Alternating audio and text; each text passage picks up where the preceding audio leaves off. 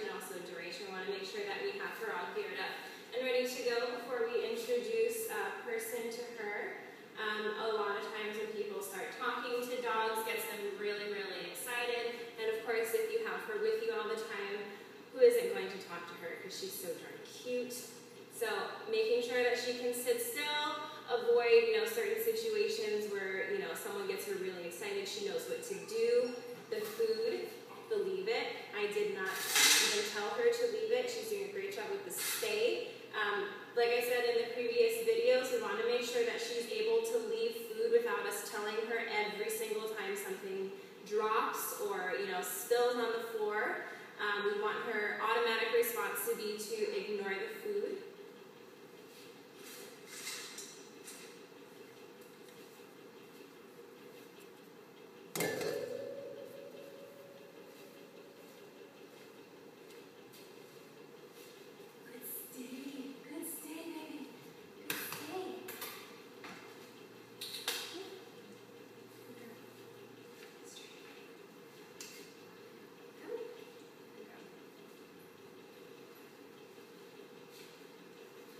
she's reading my mind.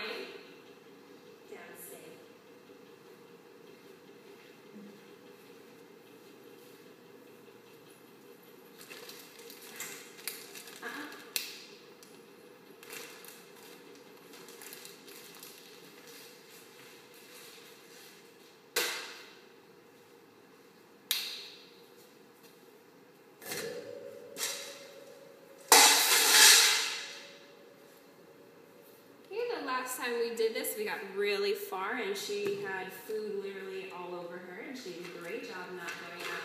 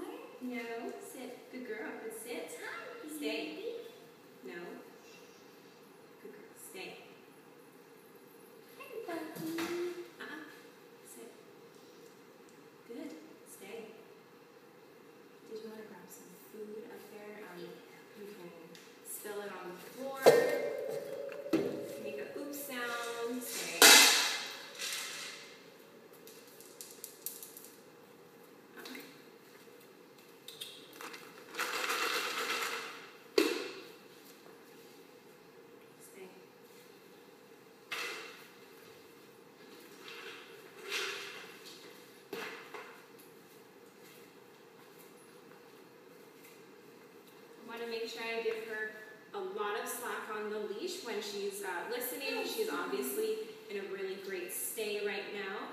Um, if I have a lot of tension on the leash, the dog is definitely mm-hmm. going to feel that. So when she's be being a good girl, she's not jumping or getting overly excited, we want to make sure that we have a lot of slack on the leash. And of course, we have a lot of the food distractions. She's sitting really nicely.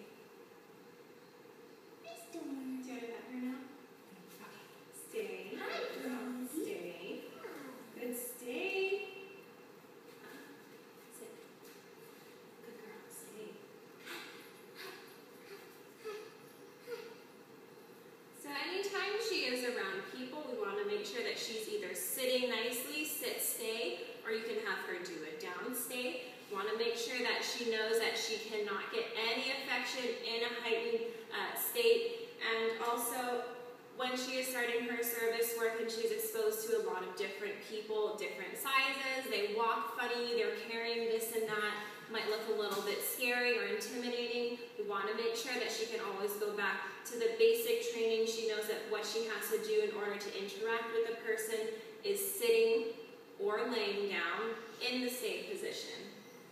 Good girl. All right, she just came back from the water park, so she's pretty pooped here.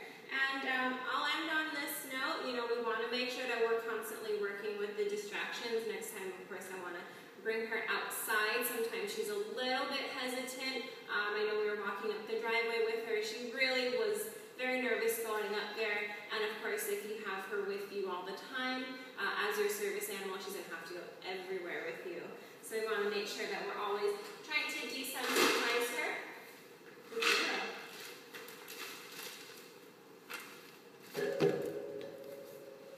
Alright, this has been Nicole here with Storm, who's doing a nice downstay. And uh, we'll definitely continue working on uh, service work for her. And uh, of course, if any other that you want us to continue working on, just let us know. We'll be more than happy to do that for you. And uh, we'll see you guys later.